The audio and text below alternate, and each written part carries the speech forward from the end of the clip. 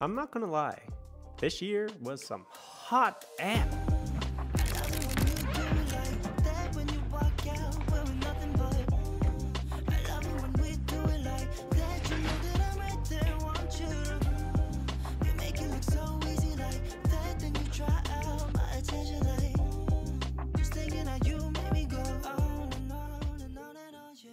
I think by the time I got to the second to last series here in Detroit, I realized that I'm going to take my 0.1% chance of making playoffs and just enjoy my job.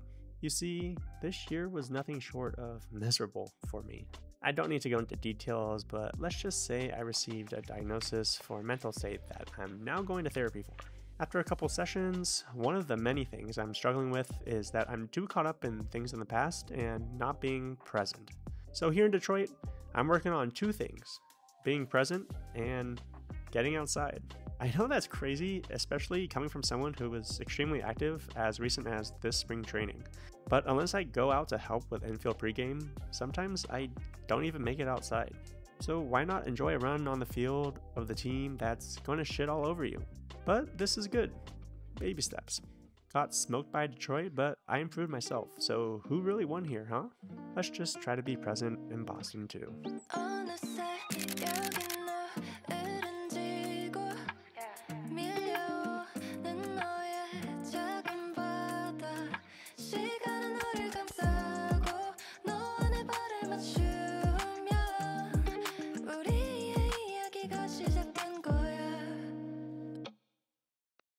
Crazy that there's only three games left in this whole year. I mean, it just flies by. You know, it kind of just reminds me of my game in bed. This series is really going to be odd.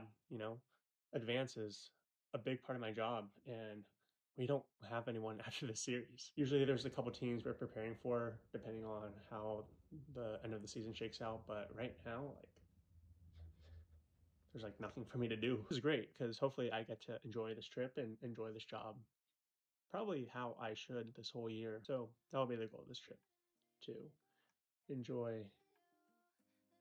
Bro, look at look at these clouds. Those clouds are sick. Thanks, Ripley. Okay, I have ADHD. Stop me. Oh, every day, every night,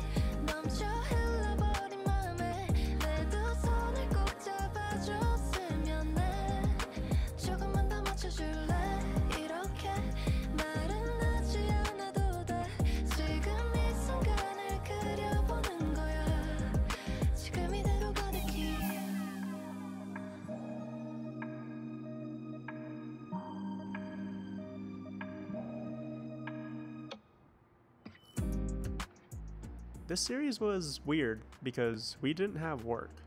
No next team to advance for, yet somehow I was still busy as funny enough. This gave me some time to think about this year.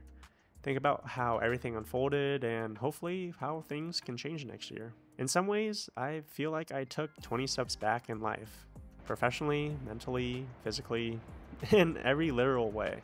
I don't feel good, I don't feel happy, but the weird thing is, I don't really know what I feel. I think I'm just lost. People are just taking advantage of me, but I'm just letting it happen. Too much is going on for me to get my thoughts together and come to a cohesive decision. I'm reacting emotionally, and that's a dangerous place to be. At the very least, I have this for now. This, as in being able to walk into Fenway and take in its beauty. I know it's no Tropicana field or anything, but I do know that no one is here to gaslight me or show me how much they're trying to use me. I'm sure you can all tell that I have not been well, and that's what I'm going to focus on this offseason with three things. One is my fitness. Get back into a routine, start lifting and running again. Two is being present. I'll be with my girlfriend and family that I've barely gone to see the past nine months. So it's time to get off my damn phone and just be present. It's kind of hard with my ADHD, but that's another story. And three, just document everything.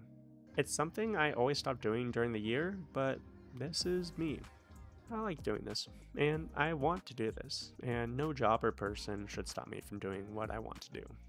Well, within reason, of course. this place. One of my favorites.